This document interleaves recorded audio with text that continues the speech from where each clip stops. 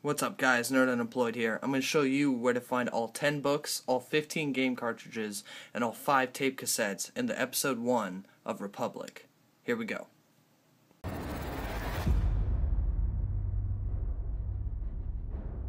Alright, so the first thing that I wanted to show is uh, some of the pattern behavior of the Prizrak guards. Um, this is in the very first part of the game, in the Brig Corridor 3, uh, Corridor 3 being the camera. His pattern is pretty simple. He walks into the room, he walks out of the room. Uh, Jose Sanchez here has our very first game, which is Infinity Blade. Um, you just wait for his pattern, turns around. I mean, it's pretty simple. It's how you, you know, steal anything in a stealth game. Um, but I just wanted to show clearly what his pattern was. There's a few characters I do that with. Uh, this one included. In the Prizrak locker room, we have Milton here, and he has our second game, which is Silent Rage, Silent Age. Sorry, Silent Age, um, when he turns around, you just go for the steal. He walks in front of those lockers. Um, the only thing that was a little scary here is that um, when you reach too far, the camera will switch on you. Um, but I paused it or did the, the camera look so that I could freeze it, change cameras, and run right back down these boxes.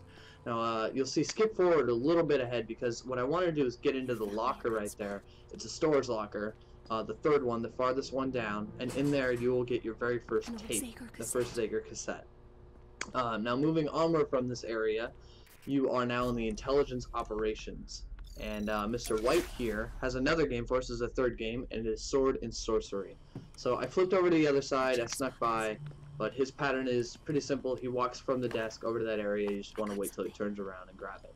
Um, now beyond this point, just around the corner, we find uh, Chris Shell, um, the Big Shell Incident, as he likes to call himself. Um, he has uh, the fourth game for us, which is Star Command. Um, his pattern's a little tricky. What you can do is hide right here at these boxes, and I wanted to watch his pattern for a second because the first time I did it, um, at certain points, if it's if you're uh, trying to steal from a guard from the side, you can get caught, um, and that happened to me uh, on one of the one of my attempts here. So, all of my attempts that you see in this video are without being caught, but there's a few close close calls. Um, again, like I said, you can hide behind these boxes. When he's at this point, he'll turn around. That's the best time to steal, and you're positioned to kind of leave without getting too far in. In the very next room next to it is the Intelligence Archives. This is where you'll find your very first book, which is uh, Zorba the Greek. You'll see I'll switch to this camera here, and it's just to the left, so it's in that back corner. Um, and that graying, when you're in that vision, is a great way to see pickups that include, you know, tasers, uh, pepper spray, books, and cassettes. Um, now we're on to the dorms lobby, and Paul Geller here has uh, our next game, which is Year Walk. Now, uh, Paul has a, uh, a long walk pattern, and the first thing that you want to do is, after he does that radio check, is uh, move forward to that first hidden position. I waited a little too long, but what I wanted to do was walk around him behind the planter, and I made a bit of a goof right here, um, but if you go into your camera view, you can set up really quickly. Basically, I set up really quickly, go back around the other way. He walks all the way to the wall here and does a radio check, which uh, takes enough time for you to kind of dive in and, and, steal what you need to steal. Um, now we're in the women's dorm, back at Hope's room, and uh, this is the first area of the game, so you'll be able to find the Scarlet Letter right there as a book. Now under the women's washroom, this guy here, easy steal in the game. He is enamored by that uh, butterfly. Tycho, stop staring at the butterfly. But he also has a game for us, which is Ridiculous Fishing. Let's see what and right there, I didn't get a good view of it, but there's a book there, and it's Lady Chatterley's Lover. So that's a good thing to remember is there's also a book right there. Now next, we're uh, down the corridor a bit, and we have Mark Lewis here.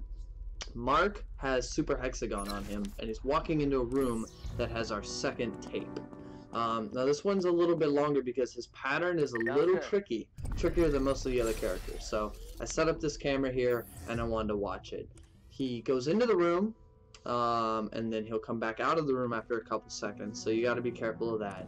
Um, but what he does is, it's not at this point. Um, you'll watch his pattern. He'll wait. He'll do his radio check. Quiet tonight. And then he'll turn. And when he turns and walks, this is the best time to steal. But you got to be careful because um, I wanted to show this whole thing. When he comes back, he does this like double take move, where if you're not careful, um, you can you can get caught by him, and you know, and you have to use a pepper spray or a taser or uh, start over. Um, so he'll walk all the way back down, and then uh, you think he's gonna go into the room, which is a good time to go for the steal. Um, not the not the opportunity I chose, but he's gonna look in the room. Uh, looks back, and oh, okay, now he's gonna go into the room. So you gotta be a little bit careful of that. What I like to do is wait till he comes back out of the room here. When he turns around, um, that's when I go for the steal. The reason that I like this one better than when he goes into the room is because right after you steal the game, you can go into the room and get the tape. So you'll see me do that right here. Um, I go right into the room, and the tape is there behind those boxes in the corner.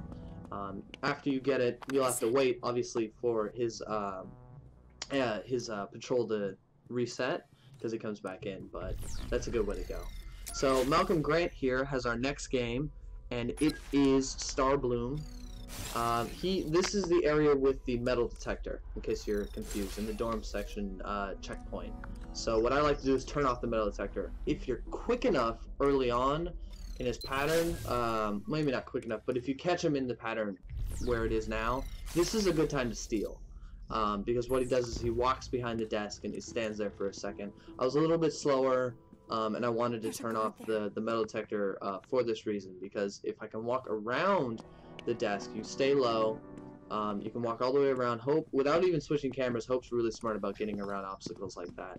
So uh, I thought that right there was the best time to uh, steal the game, and it worked out pretty good in my favor. So Nice. next up, we are in the women's commissary area. This is where uh, they eat. And uh, Mark Klink here has a game for us, which is the room. Um, but right next to Mark, I switched cameras here. You'll see right in the planter next to him, there's a book there, and it's uh, Naked Truth. So what I wanted to do was set up a position where I could get the game and the book because of the way he walks uh, towards the um, the buffet area over there, um, right near the sneeze guard. But uh, his pattern is this L shape, and uh, he doesn't stare at a wall. He always stares at the wide view of the room. So to wait for a moment when he's got his back to you from where I was, I had to wait till he walks all the way back in his L shape um, before I could go for that steal. So he comes back this way, and uh, after he comes towards me, he'll do a radio check, and then he'll reverse his animation state, and he'll walk back. Nothing to report. Um, I hid right there. That's a good place to stay. Um, right behind that little uh, that wall there. Um, waiting for him to turn. There he goes. Then I went for the steal. Um, I made a small goof right there, but check still made the steal. It got a little scary right there because I didn't know if he was gonna see me, but I went right back and uh, I picked up the book. So there you go. uh, now moving on to the kitchen, uh, we have uh, William here, and he has Plague Inc. for us. But he also does this thing where he goes into that storage locker right over there. So that shining thing is another book. Uh, the book is Leaves of Grass. So what I like to do is wait till he walks in the room, and then go for it. That way I can get the steal and the book in the same foul swoop. No sign of the girl. Um, Hmm.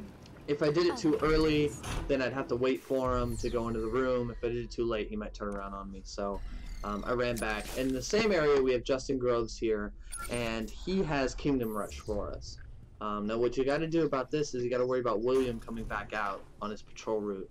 Um, but if you stay behind uh, this prep station here, you should be a-okay.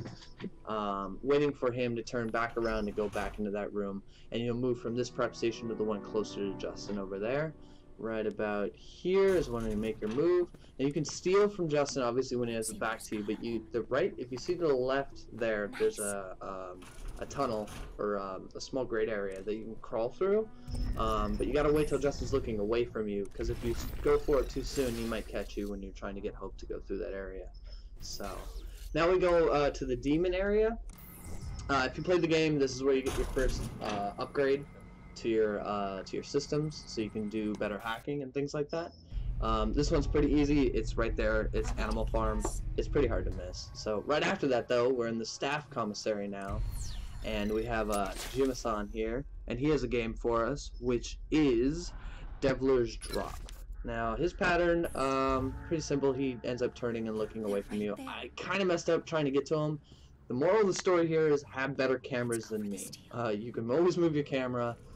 This one got really kind of dicey. I thought I was gonna get caught there. I got really lucky though. Um, but do better than I did with the cameras. Now we're at the men's commissary. This is behind the menu. So you go through the whole area and you see the menu and then there's a crawl space underneath. Uh, I picked up this taser And then what it is, I picked up the book here, which is Dr. Zhivago. Um, and that's what that book is. Uh, now we're at the men's washroom. This guy, this guy is really tricky. Uh, Rudy Rudy Richter here. He's got a game for us, which is Curiosity. Um, but he has a walk pattern where he stands right in front of the doorway. And the very first time I did this, I ran right into him. So you got to be careful of that. Um, Sounds good. Does that radio check and is just staring right at the doorway. If you hide just outside, you're you're generally pretty safe. Um, always use your cameras, folks. Um, but right when he turns around, he'll go back to the urinal. The guy's got a bladder like an infant, so you're good to go there. Um, and then right after that, you'll see it for just a sec in the in the bottom right corner from where the camera is here. You see it right there. Is this grate, and the grate leads to this room, which is uh, where Zager was hiding out. Um, in this room, there is uh, the third tape, and uh, this is also, as far as I know, the only place where you can watch the tapes. So, or sorry, watch the tapes, listen to the tapes. Uh, and then uh, right after that, moving on through the game, we're at the power station now. And this guy in the break room, he's got a game for us, which is uh, Papa Sangre. And uh, pretty simple pattern. You just wait for him to turn away from you.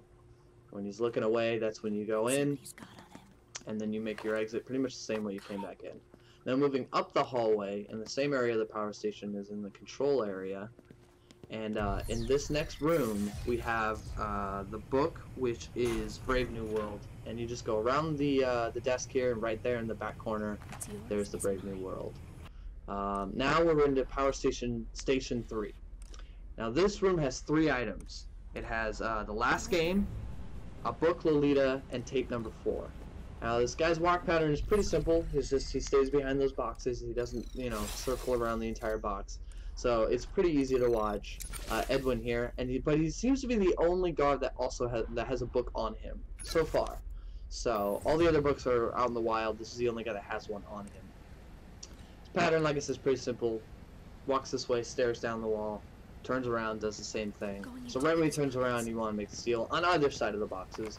But the thing I thought was cool here is after I got the seal, Hope went right to cover without me directing her. So that's a good thing to note if you do a steal. Um, and now you see uh, he walks back the other way, and that's when I went to go grab the tape here on these boxes. Now, um, right after this, there's something that I had forgotten. Um, so we go back to the dorm area right about here. And um, I had forgotten after I uh, earned an upgrade that there's this locked door um, to the left. and you'll see it. Uh, not that one, but that one. So I forgot about that locked door. If you unlock it back in the dorm's lobby, there is the uh, final book there, which is Candide, I think is how you say it. I might be wrong. Um, but this here is where you will locate the very last book. So now we got all games, and this one here, all books complete. Now, again, we're going to go back to the dorm's lobby because this is after you do New Game Plus. If you saw right at the end of that last clip, there's another locked door.